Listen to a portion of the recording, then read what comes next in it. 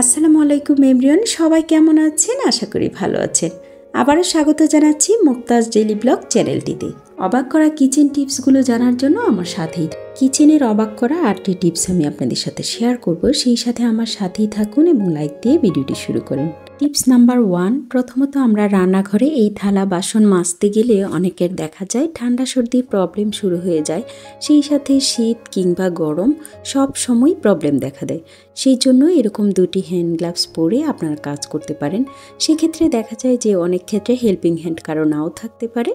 সেজন্য এই পদ্ধতিটি খুবই ভালো। টিপস নাম্বার টু, প্রতিদিনই দেখা যায় আমাদের বাঙালিদের ঘরে ভাত রান্না করা হয়। তো ভাতের চালটা যদি কিছুক্ষণ আগে এভাবে ভিজিয়ে রাখা হয়, তাহলে দেখা যায় যে চালটা অনেক তাড়াতাড়ি ফুটে, সেই সাথে ভাতটাও খেতে ভালো লাগে। সেই সাথে এই চালটা ফোটার পর দেখা যায় খেতেও ভীষণ ভালো লাগে এবং যে কোনো তরকারি দিয়ে ভাতটা খেতে খুবই ভালো লাগে। ভাতের চালটা ভালোভাবে ধুয়ে সেটাকে ভিজিয়ে রাখার পর কীভাবে কাজে লাগাই, সেটাও আপনাদের সাথে শেয়ার করব। টিপস নাম্বার থ্রি চাল ধোয়া পানিটা আমি একটা পাত্রে নিয়ে নিব। কম বেশি আমরা সকলেই গাছ লাগিয়ে থাকি, সেটা ফুল কিংবা ফসল। তো ফসলের ক্ষেত্রে বা ফুল গাছের ক্ষেত্রে এই চাল ধোয়া পানিটা অত্যন্ত উপকারী। তো আমি এই চাল ধোয়া পানি থেকে কিছু অংশ নিয়ে আমার গাছে দিয়ে দিব। এই পানিটা গাছে ফুল ফসল ধরার জন্য অত্যন্ত উপকারী, আপনারা চাইলে। এভাবে চাল ধোয়া পানি না ফেলে দিয়ে গাছে সেটা ব্যবহার করতে পারেন। তো আমিও আমার ফুল গাছে পানিটা দিয়ে দিচ্ছি। ভিডিওটা দেখতে দেখতে যদি আপনাদের ভিডিওর কিছু অংশ ভালো লেগে যায়, তাহলে চাইলে চ্যানেলটিকে সাবস্ক্রাইব করতে পারেন। টিপস নাম্বার ফোর, চাল ধোয়া পানিটা আমি যে অংশটা রেখে দিয়েছি, সেই অংশটাতে আমি স্টিলের চামিচ বাটিগুলো দিয়ে দিব। তো স্টিলের চামচ বাটি এই চাল ধোয়া পানিতে রেখে দিলে কিছুক্ষণ পর দেখা যায় সেটা একদম চকচকে একটা ভাব চলে আসে। তো আপনারা দেখতেই পারছেন, আমি এটা ভিজিয়ে রেখেছি। তো কিছুক্ষণ বলতে দুই তিন ঘণ্টা পর সেটাকে উঠিয়ে হাত দিয়ে একটু ঘষা দিলেই দেখা যায় চকচকে একটা ভাব চলে আসে। তো আমি সেক্ষেত্রে একটু মাজনি দিয়ে ডলে নিয়েছিলাম, তো ডলে দেখা যায় যে তারপর এই চকচকে ভাবটা চলে এসেছে। দেখতেই পাচ্ছেন চকচকে ভাবটা অলরেডি চলে এসেছে। তো আপনাদের ক্ষেত্রেও ঠিক এমনটিই হবে, কিন্তু একটু ধৈর্য ধরে সেটাতে ভিজিয়ে রাখতে হবে।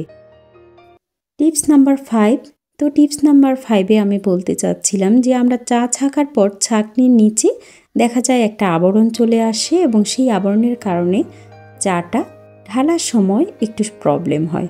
তো সেক্ষেত্রে যে চা পাতাটা রয়ে যায়, ছাকনির মধ্যে শুকনা চা পাতাটা থাকার কারণে এভাবে চুলা জ্বালিয়ে যদি আমি পুড়ে নিতে পারি ছাকনিটা, তাহলে দেখা যায় অনেকাংশে সেটা একদমই পরিষ্কার হয়ে যায়। আপনারা বাসায় ঠিক এভাবেই ট্রাই করবেন। দেখবেন যে চুলায় দেওয়ার সাথে সাথে ছাকনিটার পাতাগুলো পুড়ে একদম পুরোটাই পরিষ্কার হয়ে যাবে। সেক্ষেত্রে একটু সাবধানতা অবলম্বন করবেন, আগুন থেকে একটু দূরে রেখে সেটাকে পুড়বেন। দেখতেই পারছেন পাতাগুলো কীভাবে পড়ছে।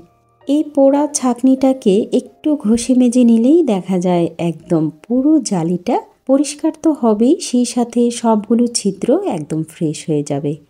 তো আমি একটু মেজে নিচ্ছি। মেজে নেওয়ার পর দেখুন কি অবস্থা। পুরোটা একদম ফ্রেশ হয়ে গিয়েছে।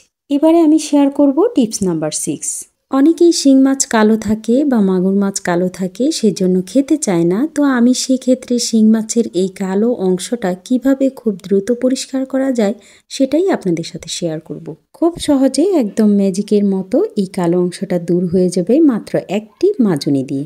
তো গোনার তারের যে মাজুনিটা, সেটা আমি নিয়ে নিচ্ছি। তো এভাবে আস্তে আস্তে ঘষে নিব। তো দেখতেই পাচ্ছেন কালো অংশটা কীভাবে চলে যাচ্ছে। অনেকেই বলে যে চুন দিলে সেটা পরিষ্কার হয় কিংবা অন্য আরও অনেক পন্থা আছে যে পেঁপে বেটে দিলে বা পেঁপের খোসা বেটে দিলে। কিংবা পেঁপের পাতা বেটে দিলে এটা পরিষ্কার হয়। তো এত ঝামেলা না করে আমি যদি খুব সহজে বাসায় এভাবে এই একটিমাত্র গোনার তারে ছোবা দিয়ে পরিষ্কার করতে পারি, তাহলে আর শুধু শুধু কষ্টটা কেন করব বলেন? দেখতেই পাচ্ছেন কীভাবে পরিষ্কার হয়ে গেছে। একদমই সাদা হয়ে যাবে, তো দেখা যাবে খুব সহজেই শিং মাছটা এভাবেই আমি পরিষ্কার করে নিয়েছি। সেক্ষেত্রে আমি সবগুলো শিং মাছ এইভাবেই পরিষ্কার করে নিয়েছি। দেখতেই পারছেন কত চকচকে হয়ে গেছে শিং মাছগুলো। এই ছোট্ট ছোট্ট কিচেন টিপসগুলোই আমাদের ক্ষেত্রে অনেকটা উপকারে আসে। আপনারা হয়তো ভাবতে পারেন যে গুনার তারের যে সোবাটা নিয়েছিলাম সেটা কি আমি ফেলে দিব? না বন্ধুরা টিপস নাম্বার সেভেনে আমি বলে দিব সেটা কীভাবে আমি পুনরায় ইউজ করতে পারব। একটা বাটিতে আমি গরম পানি নিয়ে নিয়েছি এবং সেটাতে কিছুটা ভিম লিকুইড দিয়ে দিয়েছি এবং ভিনেগার দিয়ে দিয়েছি।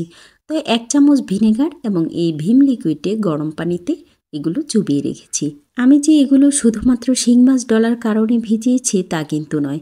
মাজনি দিয়ে মাছতে মাছতে দেখা যায় অনেক সময় এগুলোতে গন্ধ হয়ে যায় কিংবা আঠা আঠা ভাব হয়ে যায়। তো দেখতেও খারাপ লাগে, তাছাড়া এগুলোতে নানান ধরনের জীবাণু জমে থাকে।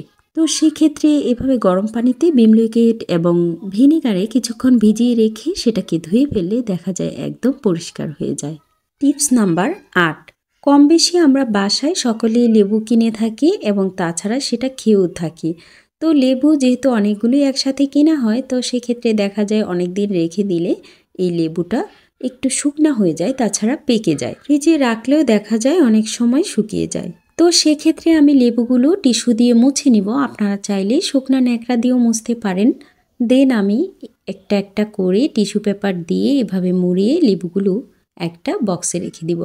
তো এয়ারটাইট বক্স হলে সেক্ষেত্রে খুবই ভালো হয়। আমি ওই এয়ারটাইট বক্সটাই নিয়ে নিয়েছি।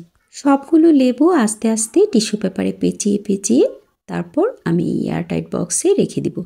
দেখতেই পাচ্ছেন কীভাবে রেখে দিয়েছি। এভাবে রেখে দিলে অনায়াসে অনেক দিন লেবু রেখে খাওয়া যাবে। তাতে করে লেবু তো শুকাবেই না, সেই সাথে পেকেও যাবে না। ভিডিওটি কেমন লেগেছে আপনারা চাইলে জানাতে পারেন। সেই সাথে আপনাদের কাছ থেকে বিদায় নিয়ে নিচ্ছি। সবাইকে আসসালামু আলাইকুম।